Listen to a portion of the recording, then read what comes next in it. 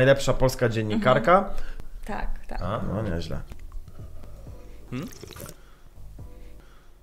Yy, chyba taka bardzo duża zmiana w Twoim życiu, co? Szczególnie Mhm.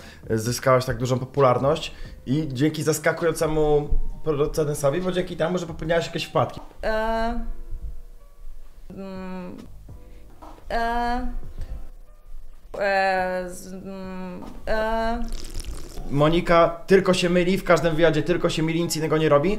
byłabym e, niepoważna, gdybym nie wykorzystywała swoich umiejętności. Czyli ty masz Idziemy. bardzo duży dystans do siebie w takim razie. Ja nie mam, nie mam pojęcia. Yy, Prześwietliliśmy Twoją filmografię.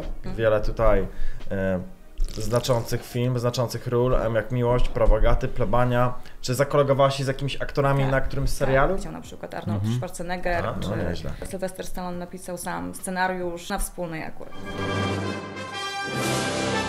Ludzie oglądają wywiad y, z dziennikarką, która nie do końca jest przygotowana. Byś musiała coś wybrać i powiedzieć, z czego jesteś najbardziej zadowolona?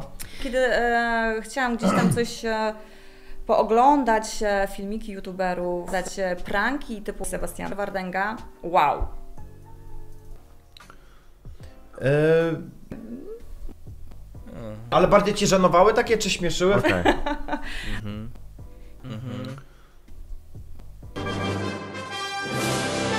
Czy z wywiadami miewasz tak czasami jeszcze, że czujesz tak, że intuicja ci podpowiada, żeby nie robić tego? Czy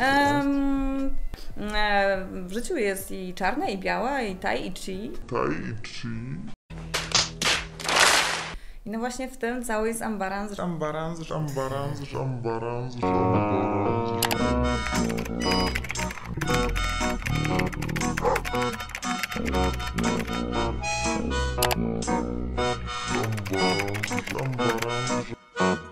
Ambaras. Ambarans.